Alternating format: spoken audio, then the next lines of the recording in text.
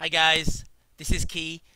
I'm going to be talking about a topic that is simple but very important and it is about how to make hyperlink in Word document. I'm going to be talking about Word documents and in the future I'll be talking about other places or how to create a hyperlink. Uh, before I do that, uh, most of you know me as a real estate internet strategist. I'm the kind of guy who uh, trains brokers and agents on how to create strategies that are SEO friendly and also sticky. I'm a bit exuberant and highly animated. All of you know that. So I'm going to move on from that and just get to why am I using Word as the platform. I'm starting with this one because most agents use uh, Microsoft Word because it offers them a spell checker and a grammar checker. So I figured start with this one because at least they'll know how to make links there. I will be tackling other web platforms such as blog platforms in the future. Remember, you need to know why you do something before you can get to really getting the results you want. So just remember this saying here how you do something becomes powerful when you know why you're doing it in the first place. What is a hyperlink? Well, a hyperlink is quite simple. It is basically uh, a common word or a phrase or a sentence or a picture that if you clicked on it, you'll jump to a new document or a web page.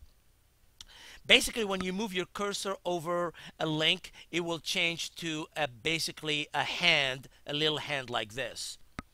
But instead of talking about it, uh, let me give you the steps and then I'm going to show you an example. Uh, how to create a hyperlink, very simple.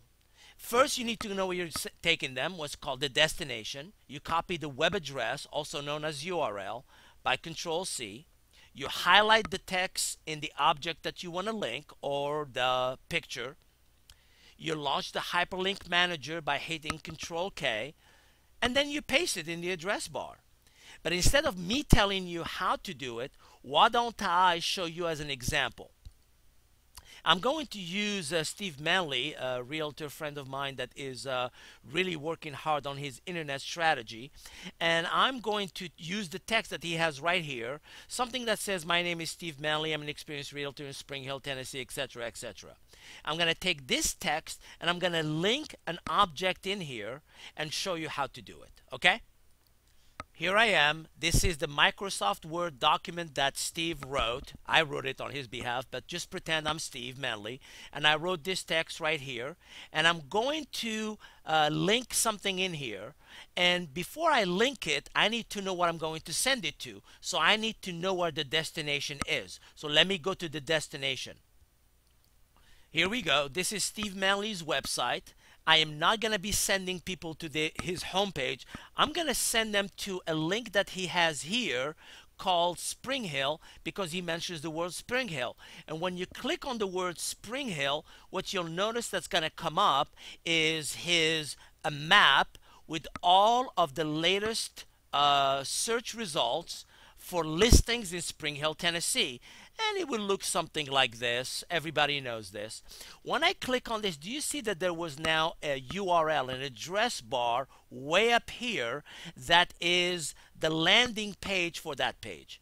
Well, you, what you need to do is click on it to highlight it, copy it, control C, or by right clicking and hitting copy. Remember, when you're on a link that you've highlighted, you can right click it and hit copy.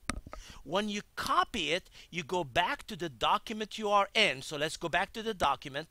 This is the document we're in. And in this document, I'm going to select the appropriate word. For me, Spring Hill, Tennessee is the most natural.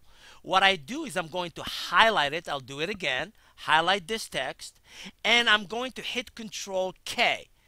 When you hit Control K, what comes up is what's called the link manager. By the way, you don't have to hit Control K. You could just right click it and go to what's called the hyperlink manager right here. It's going to ask you for the address. You paste it there because remember I copied it or you can just right click and hit paste.